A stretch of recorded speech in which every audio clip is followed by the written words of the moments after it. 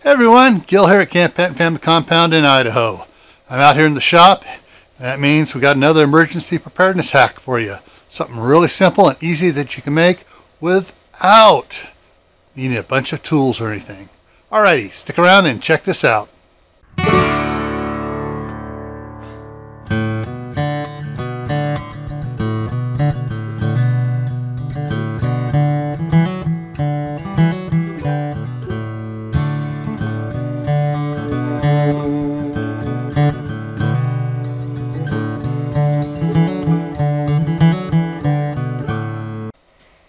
Okay, so here's what we're going to be doing.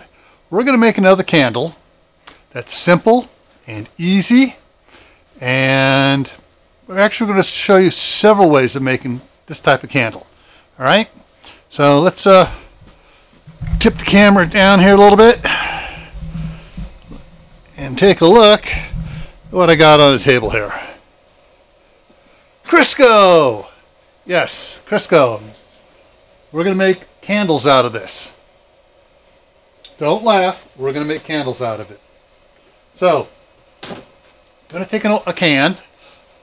This is a wide, short can. Basically, this can is uh, what the uh, Costco beef and uh, chicken come in when you buy a pack of them. So this is what this comes in. So it's a nice wide one there.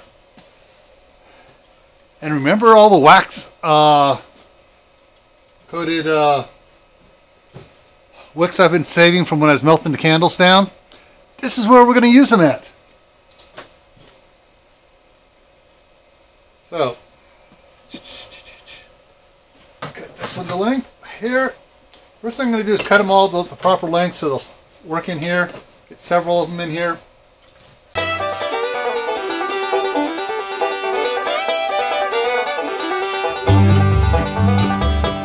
So I got four little wicks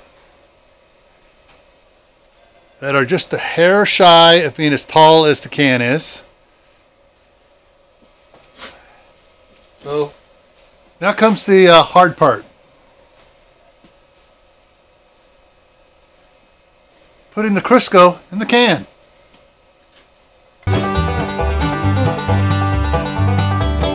When I'm putting it in, I want to make sure I get the corners filled in. So push it down and push it into the corner to make sure the corners fill up. Because you don't want to have gaps in there that when it starts to get warm it all you know sinks and does weird stuff. So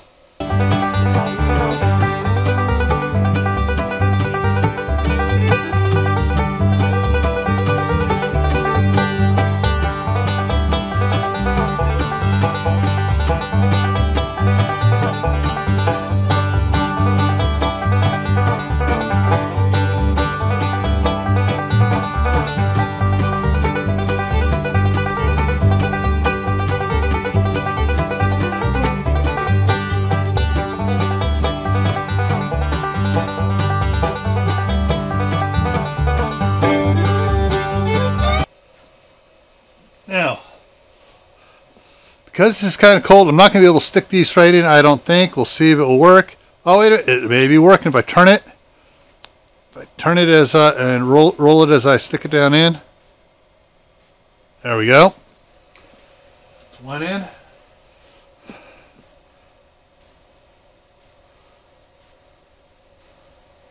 There we go. There's two in there. Sometimes I get lucky. I thought I was going to have to poke a hole with a mat, with a wooden match or something to get these down in there first. But it looks. There we go.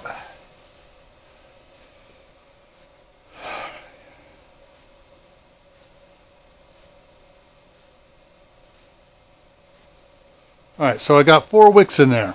So, candle.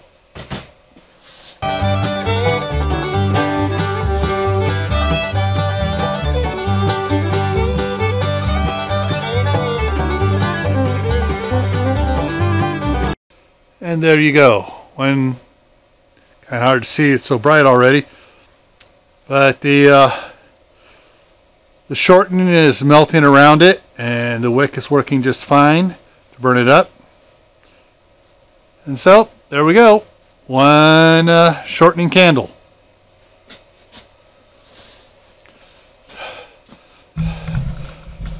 Now, was that quick and easy? I think it was. Now, suppose you want something a little bit bigger than uh, this little candle right here. Well, you see the big container here? See this big white candle? You get the picture? You cut it off just below it, expose some stuff, and you just stick it in, stick a couple of those in there. Turns that into a very, very, very long burning candle. So some people go, oh, but why, why would we want to waste the shortening? Well, if you've been following anything in the news and you believe anything, vegetable shortening is not exactly the best stuff for you. This way, it can be something good for you. You can use it to provide light for your home. So, uh, it look this here is looking pretty good. Let's see, tip this forward here and take a look at this candle here a little bit better again here. I'm not sure if it's going to show good, but yeah, you got the uh, my finger to contract against the got little pools forming around the uh, wicks now as it slowly melts the shortening down in and burns it. So what I'm going to do is I'm going to leave this candle here going for about an hour or so and we'll come back and we'll check it out then. All right? Okay, I'm going to go ahead and do the uh, candles in here. So mark it here. Cut it off there.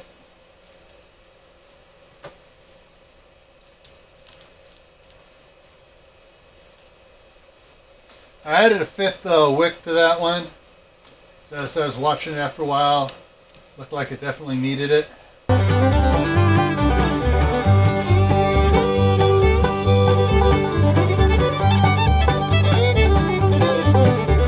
Okay, so like I did when I was cutting the candles to go into inside of this, the uh, five candle uh, can, emergency candle, I did the same thing. I trimmed down around, exposed the wick.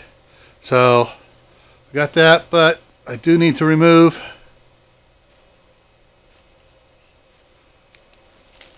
the wrapper.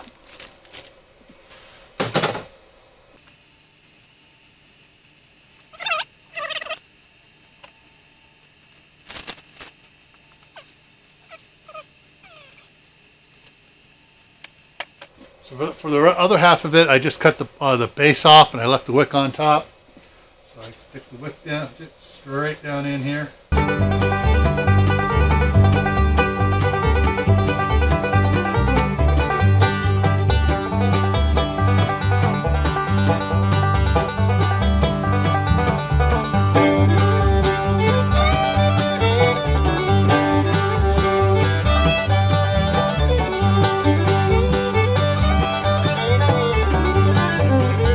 as you see, I start peeling around it and start getting more of the material off here by cutting in. I only don't want to cut into the wick all the way. Once I got get in here a little bit more, then I'm going to cut. Then I'm going to cut down along it, shave it.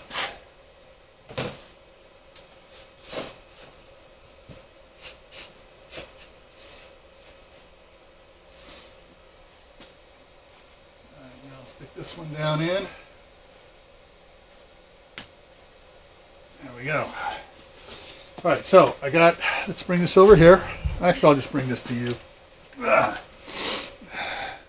me turn the overhead lights back on here so you can get a light down in there.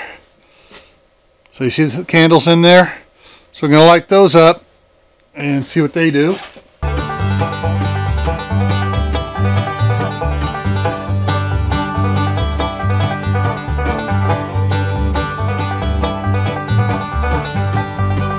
These four candles going. Not sure how well it's going to show up. Because I see a lot of glare on the screen here. That's why I keep wondering about it.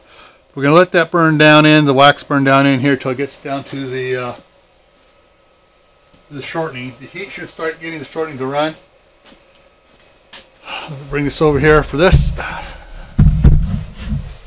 You can see hopefully you can see the puddles around here formed by the uh, the heat of the candle there, of the shortening candle, smelting the shortening and giving everything an even uh, there. So that's doing pretty good. Going to give it another uh, 15 minutes here. Give this another 15 minutes. Um, come back and look at it here. Uh, what I'll do is I'll just go ahead and put this on a time lapse here and we will uh, see what happens here and during that time lapse. So let me move this up a little bit closer.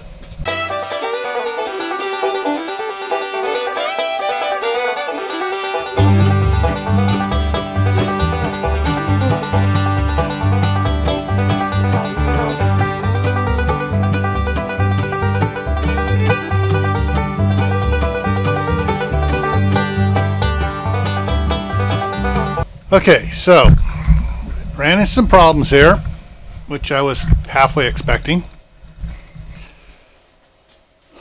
On the Crisco candle here, you saw a couple of the uh, the wicks on that taper candle kind of bend over and they put themselves out. Yeah, it's all you got to be careful about what type of candles you use also part of the problem was also it's it's starting to melt around show it here again around the back side here it's what melted into the stuff that's still on the sides. So yeah it's as it melts the stuff on the side the elevation of the uh, liquid uh, vegetable shortening comes up. And so for the first little bit here it's going to take a while for that to work. It probably would have worked better in a totally full can. That way you push it in, there's nothing up on the sides to melt and, and flood the, wicks. So like over here on this one here though that I did, it's working just fine. The entire top is just about liquid and all five wicks there are doing just fine. Alright, so with that, to blow those out. Not much smoke coming off of it when I blew those out. And it's because it's a it's mostly the uh, vegetable shortening which works pretty good. So I'll just go ahead and put the top back on that and that can set up and be just fine. The other one here seems to be doing okay so I'm just going to go ahead and just slide this across there we go. And that one there is extinguished. So, um, this little can here, uh, like I said, was one of the Costco meat cans.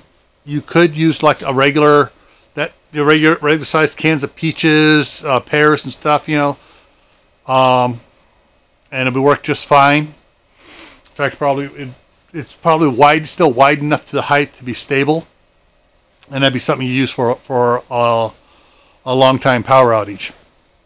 Um, my daughter, when I was inside the house here while this was on the uh, time lapse, said they were cooking some bacon, and they go, "Well, oh, vegetable oil. Well, can you can you make a candle out of bacon grease?" So she's saving the bacon grease, and when we get enough bacon grease, we're going to try to make a candle out of bacon grease. So that's coming somewhere down the line, probably after the first of the year. So, all right. So, a um, couple things here before I go away. One, don't forget to uh, down in the in the uh, comment section. There's not comment section in the uh, about section, the description section. There, there's going to be a link to a um, our 1,000 subscriber uh, giveaway contest video, and I'm going to follow up here when I get done talking here with a little quick about it a little short blurb uh, video for it.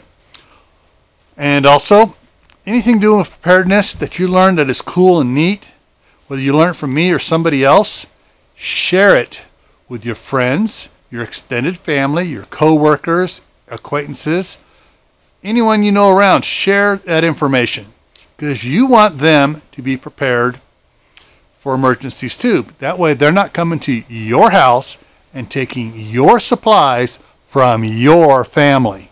All right? And if you like this video, please pound that thumbs up button down below. If you haven't subscribed to my channel yet and you want to see more of these uh, fun videos, down below, the little red button that says subscribe, you click on that and a little bell pop up next to it. Click on that bell and whenever I post one of these videos, you'll get notified. You don't have to watch the video, but you'll get notified. All right? And as always, stay happy, stay safe, and I'll see you in the next video.